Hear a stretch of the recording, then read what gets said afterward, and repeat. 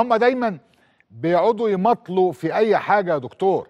يعني يقعد, يقعد معاك في كل اتفاق ويقعد يعمل اجتماعات ورايح وجاي وهو شغله شغال ويقعد يماطل يماطل يماطل وبعدين يدخلك على حيطة مسدودة ويبدأ من أول السطر وهو شغله برضه شغال علشان يحطك أمام الأمر الواقع اللي أنا مش حت... مش هتفق وأنتوا كلكم هت... هتعملوا اللي أنا عايزه. وبالطريقة اللي أنا عايزها.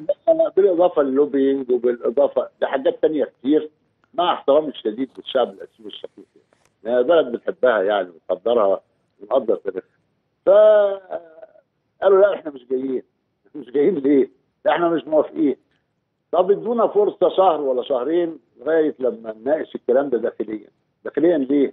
قال والله ده يمكن الناس تعارض يا عم ده أنتوا حكومة وده بلد ديمقراطيه بتقولوا وحاجات زي كده.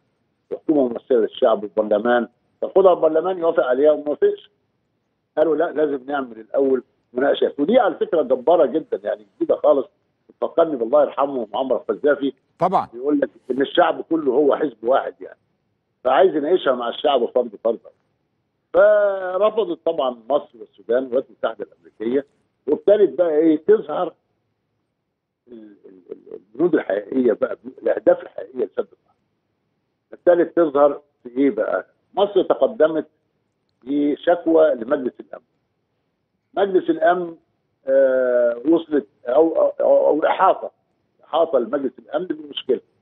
فراح آه مكتوب فيها إيه اللي حصل إزاي التفاوضات اللي مرت 10 سنين وخلاف. فأثيوبيا ردت عليها. أثيوبيا ردت عليها بإيه؟ طالبة من مصر إيه؟ طالبة إلزام مصر بالتوقيع على اتفاقيه عنتيدي، إيه اللي دخل عنتيدي وسد النهر؟ قال لك لا لازم يحصل الأول حصه والحصه اللي عليها عنتيدي أنا أطلع له مية من النيل. شيء غريب جدا.